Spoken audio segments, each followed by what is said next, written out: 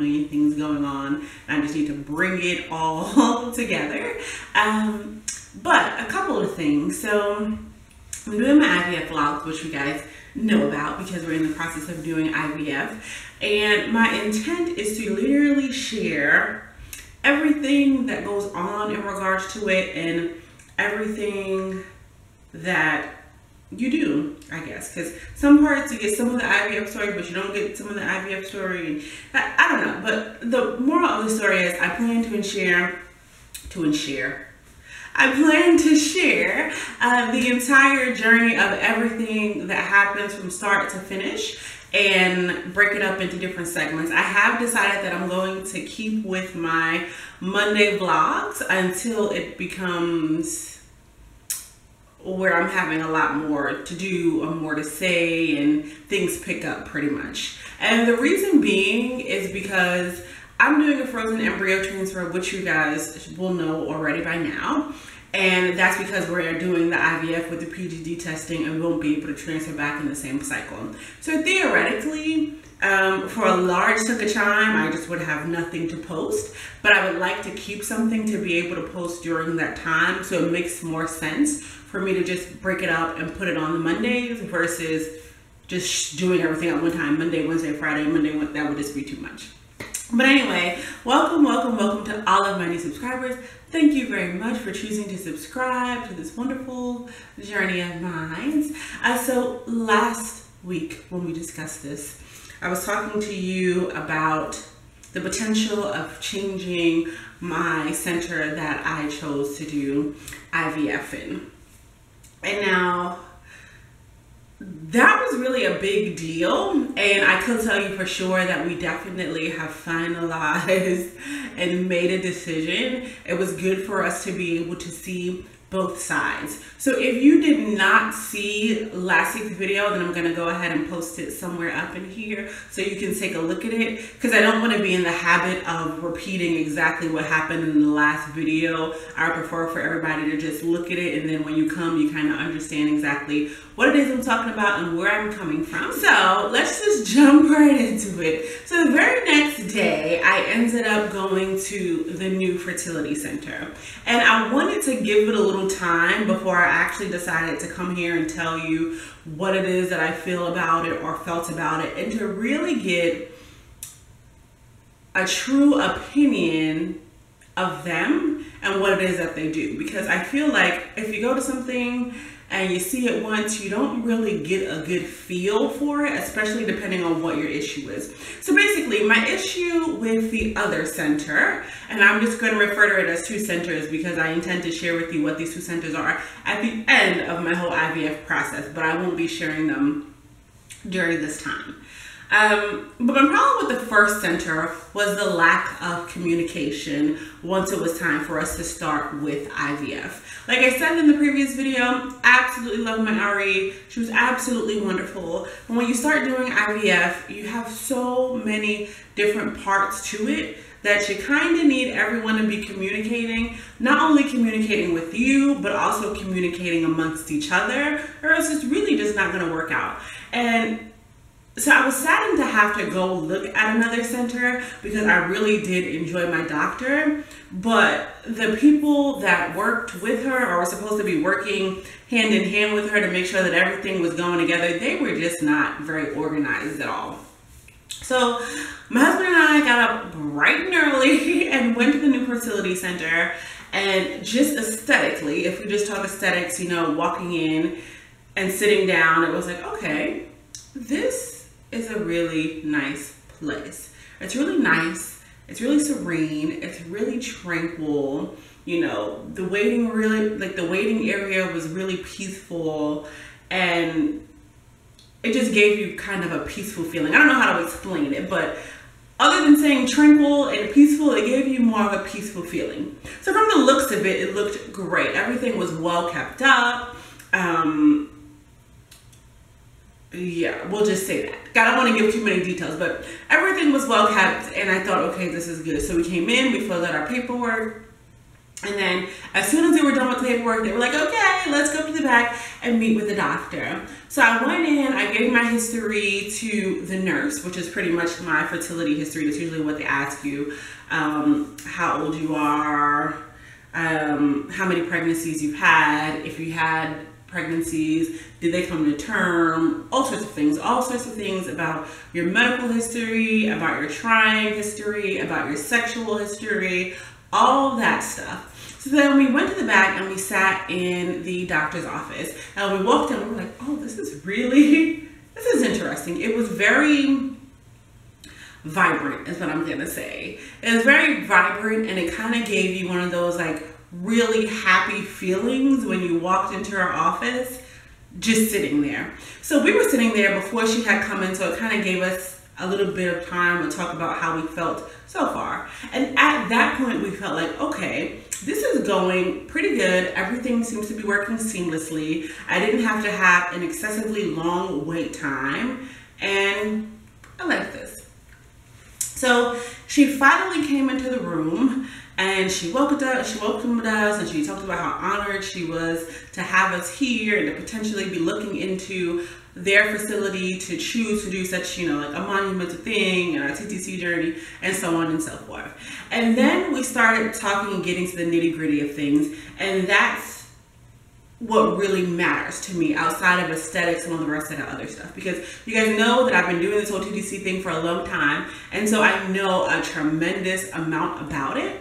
And I feel like if I'm going to go to you, I need to be learning something and I don't want to be telling you everything that you should know or be telling me.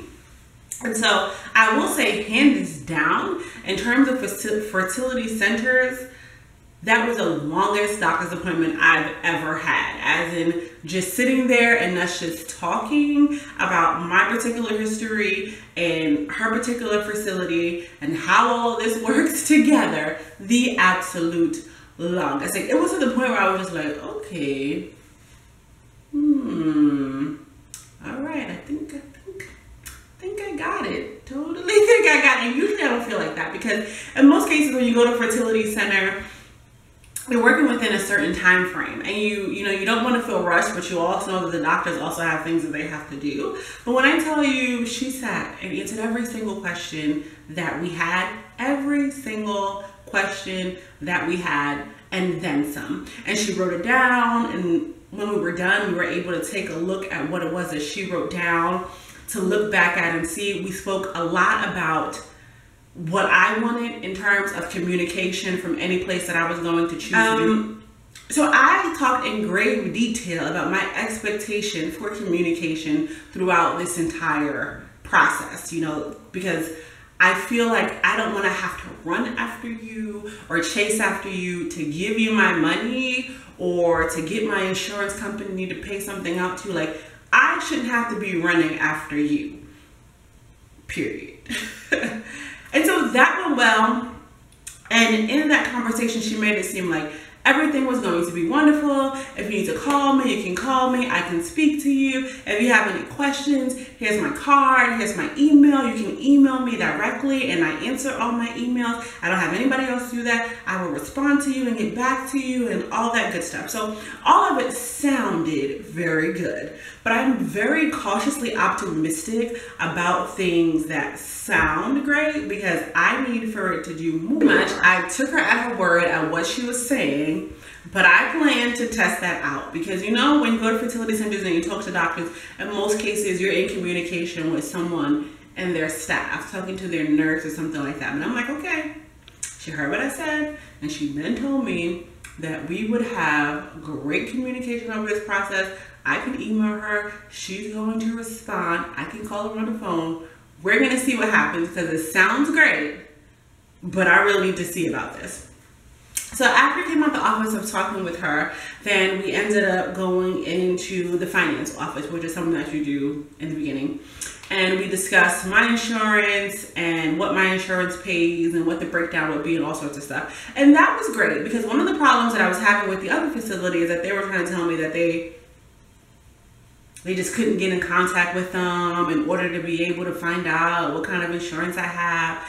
But meanwhile, they give me a whole printout of who they spoke to, what the customer service representative name was, ID number, and all sorts of stuff on a very long PDF on what my insurance is, what my insurance covers, what their fees are, what our financial contribution would be after their fees to us. And so that was great because it was there plain as day, nice in writing. This is how much it costs. This is how much your insurance will pay. This is how much you will pay in the event that you choose to go down the route of IVF with us. My only problem with it in reference to the finance part and talking about um, the genetics part of this, because obviously we plan to do PGD testing, is that they work exclusively with one lab and one lab only. And so I don't know how I feel about that. I feel like I want to have a choice. Like I need to have a choice in the lab that I that I choose to send my embryos to. And if I don't have this choice, then I personally need to vet this particular company because I want to know that this is the best place for them to be going. But I'm going to talk to you about that later. So we went there, we got the breakdown. Wonderful, great, awesome. After that, one of the things we had talked about with the doctor was an ultrasound. An ultrasound specifically to count my follicles at that time. Um, just based off of the potential of starting IVF there and trying to get an idea on where my levels were and all sorts of stuff.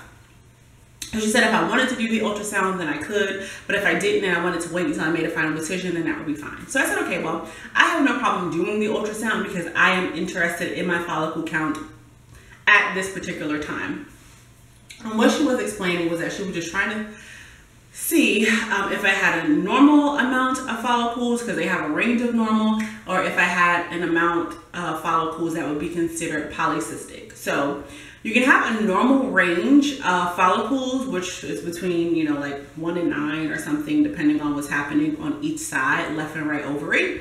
And then if it's above nine, between 10 and above, then those would be considered, considered polycystic ovaries. But you don't want to confuse polycystic ovaries with PCOS or polycystic ovarian syndrome because you can have polycystic ovaries and not have PCOS.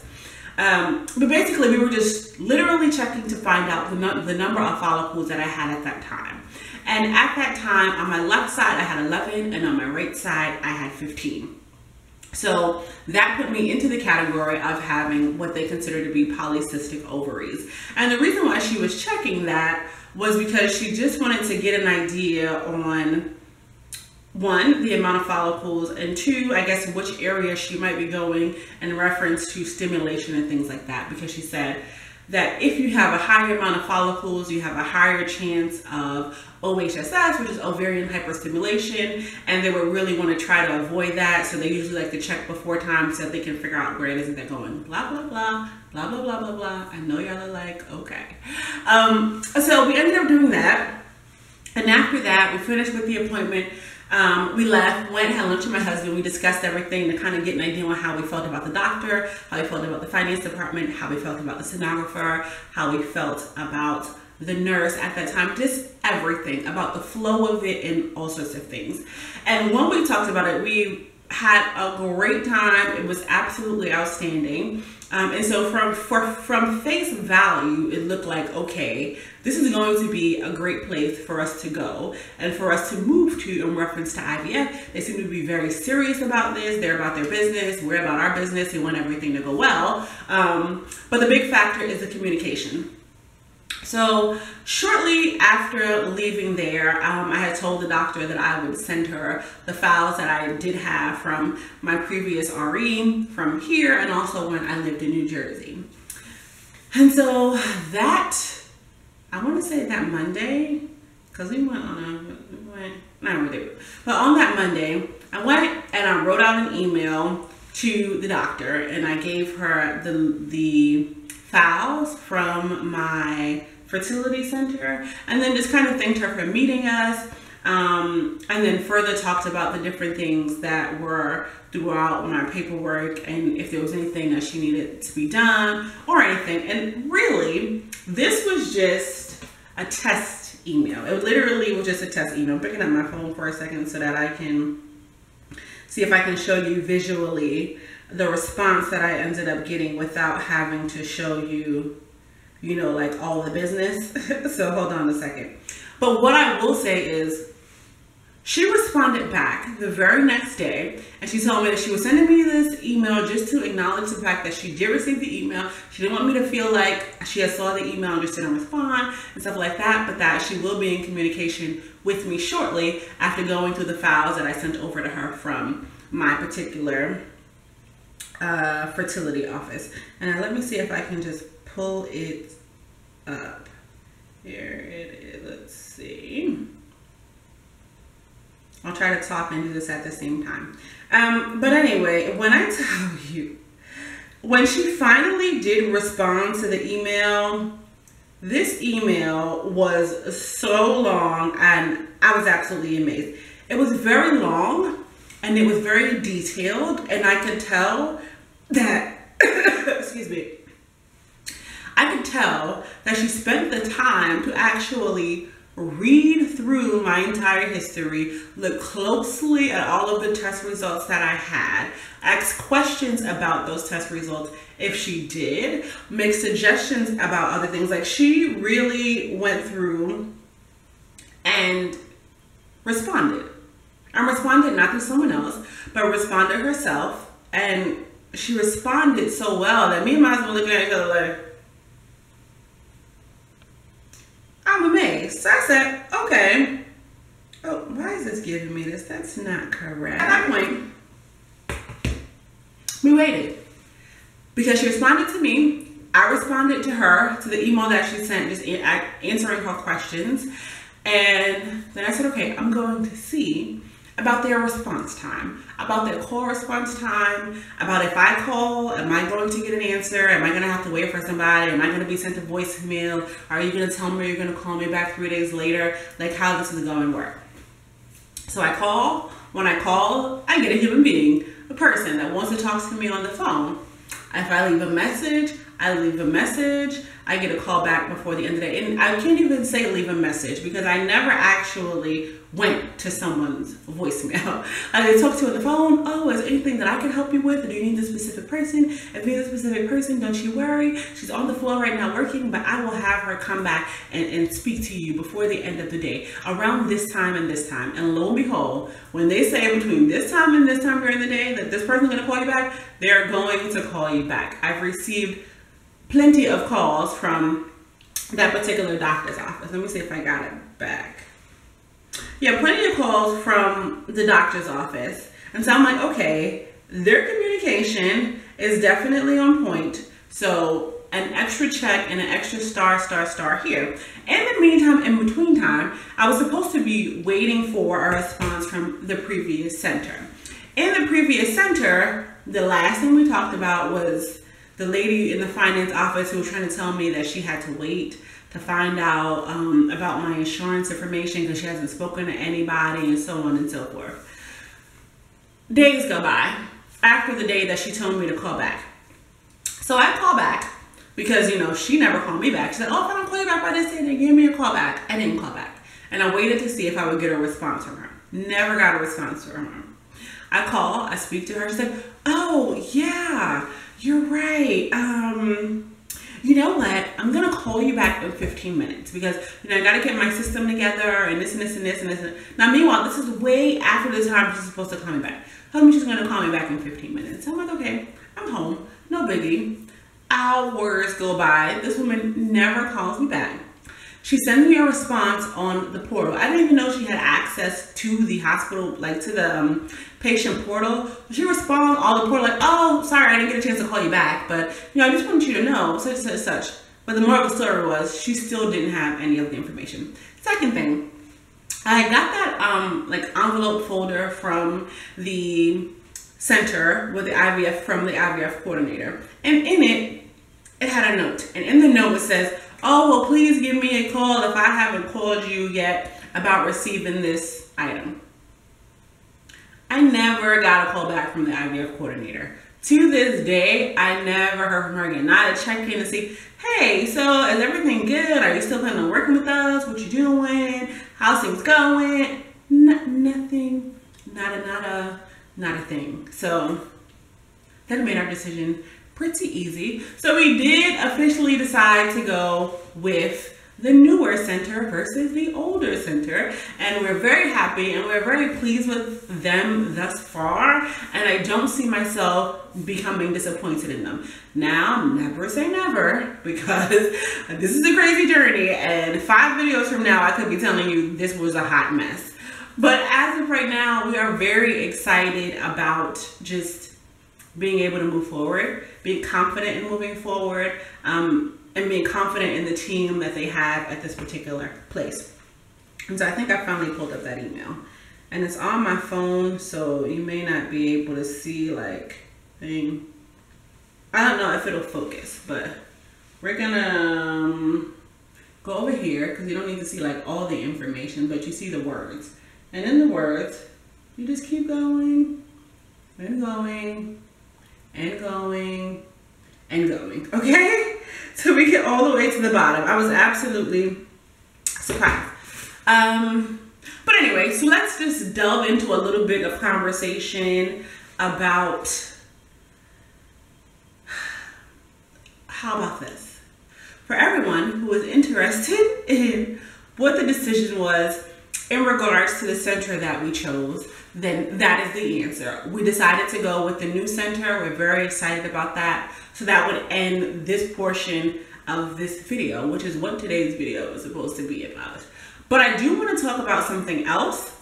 And so if you would like to stay longer for a longer portion of this video, we're gonna talk, we're gonna call this the um what do they do on um shows and stuff when they come back later, the after hour or the nightcap, except it's not nighttime, except it's not nighttime. So I don't know. We're gonna call it the the nightcap, the after cap, the after the videos over section. So if you want to watch that part, then come on over.